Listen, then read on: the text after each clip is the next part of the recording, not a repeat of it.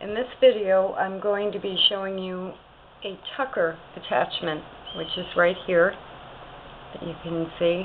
This is a vintage attachment and I'm going to show it to you. Um, I'm going to use it on the 1947 Singer Model 6616. Now this tucker attachment is actually very simple even though it looks complicated there is an adjustment knob right here, an adjustment knob right here, and it clamps on, it's a side clamper, it will clamp on to the needle bar just like any of the presser feet. Now on this back bar right here, there are markings that are 1 16th inch apart. And depending on how wide you want um, your tuck, you would, I have it set at 1 because that's how wide I wanted the tuck. The front bar is the space between tucks and the front bar is spaced at 1 8th of an inch markings. So you loosen this screw here to slide to adjust the back bar, which is for the tuck, and you loosen this screw here to adjust this, which is for the space in between one tuck and another.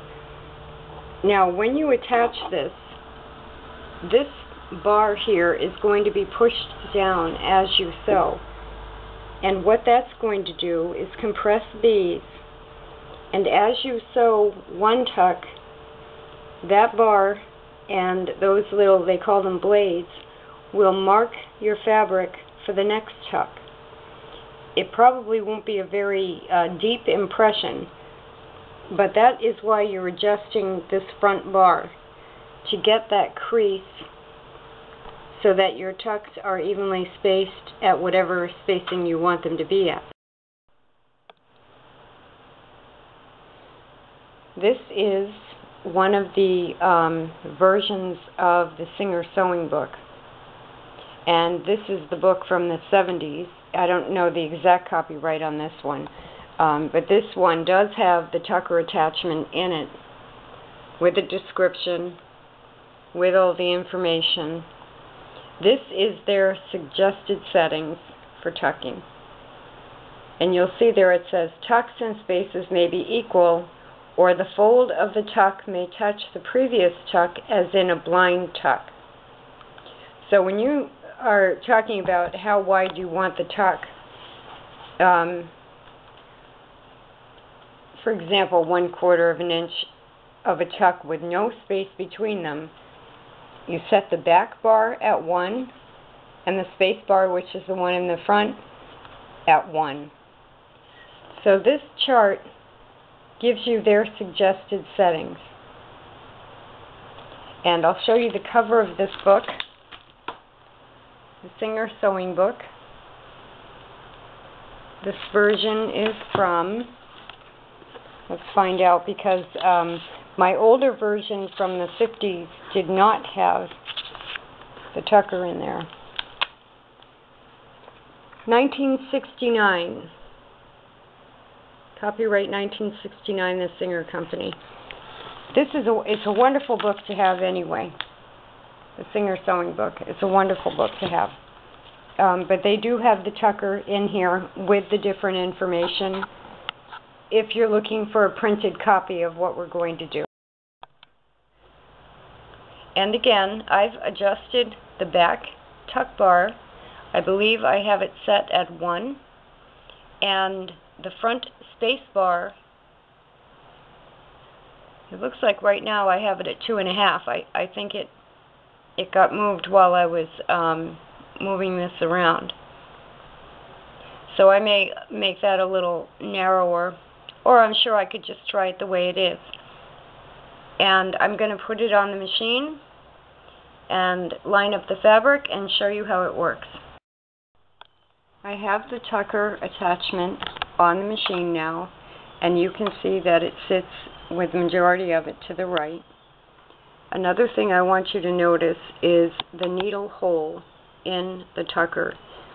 And when you're attaching this, you just want to make sure, and you can do this by turning the hand wheel toward you, you want to make sure that your needle goes into that hole without a problem because obviously if the needle hits the metal plate on either side the needle would probably break. So now what I'm going to do is put the fabric into the tucker and this piece right here is the fabric guide and that is what moves when you adjust the tucker for your fabric. Now I have the presser foot up.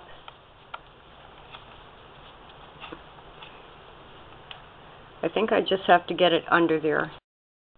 Now where I'm placing this is this part that I pointed out that is a blade. You can you can see there's a little thing that sticks up there. So this is going to go like that so that it's got that blade underneath it and then it's going to go under the presser foot area of the tucker. Uh, this part where the needle hole is, I'm calling a presser foot. It's actually all one piece. So now I'm just going to slide that fabric under there. And now you can see how the fabric sits against that guide that sticks up. It is under, excuse me, these two bars, but it's above the little part that protrudes from the bottom part of the space bar, the needle lines up and the fabric goes under the, the presser foot area of the tucker. And at this point, because I've already set it to what I want, I should just be able to sew. And this is a scrap piece of muslin that I'm using. I did press it. Uh, the directions do say that it helps if you press the edge. I started um, the first edge by pressing it and depending on how noticeable the next the crease is for the next tuck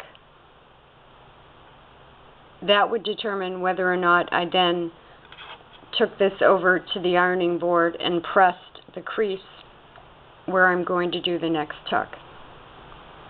So this is where the tuck will be sewn, right along here, and the next tuck will be marked by that little piece that protrudes up under these two things.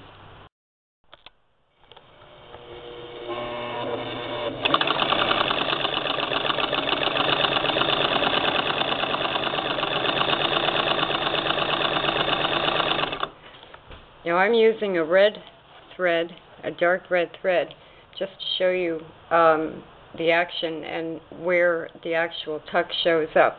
I think obviously you would be using a white thread if you were really doing this on a white fabric. And you can see, now I have uh, the space set at two and a half on the space bar, and that's a pretty good mark.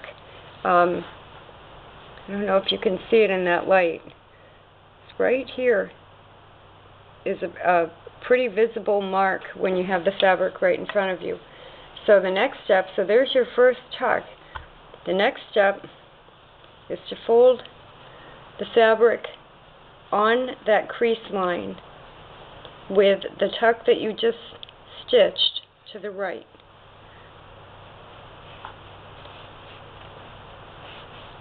And this is where you would decide, gee, is it worth um, just taking that over to the ironing board and pressing that next tuck. And then you would get it underneath the back area again. A lot of these old attachments have very little clearance under the presser foot area. So sometimes it takes a little wiggling to get it in there. And then uh, once you have it in there, because I didn't get up and press it, I want to make sure that I am actually folding the fabric on the crease.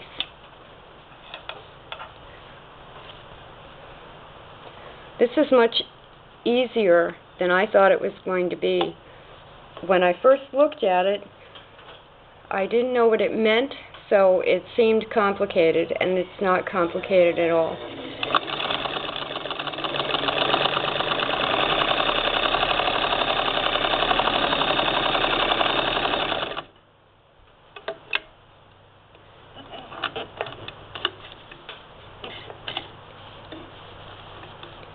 My thread got caught there.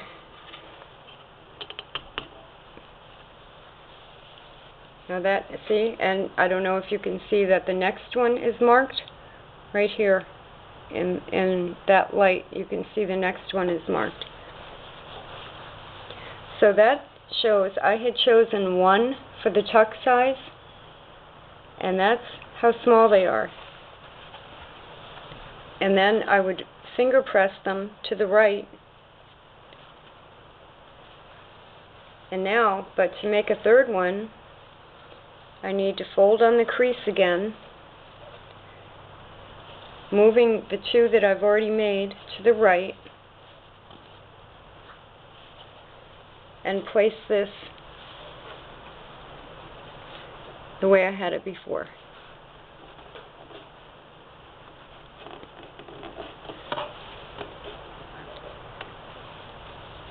And again, double checking that I'm folding the fabric and finger creasing it really on the crease that the tucker made. And then you want to make sure you have your presser foot down.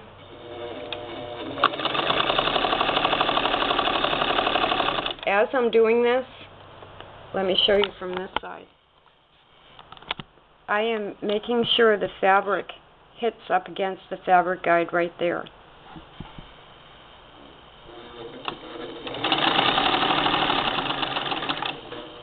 Difficult to do it with one hand.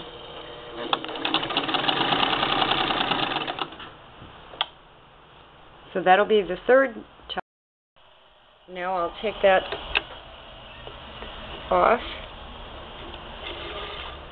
Now I have never used this before I don't think and yet now that I see how it is used I'm actually thinking well gee that would make a nice accent on a lot of things.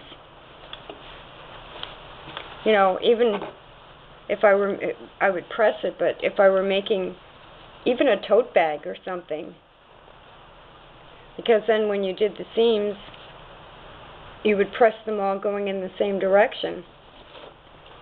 That's a very easy way to add tucks to fabric. It really is. And that's the Vintage Singer Tucker attachment.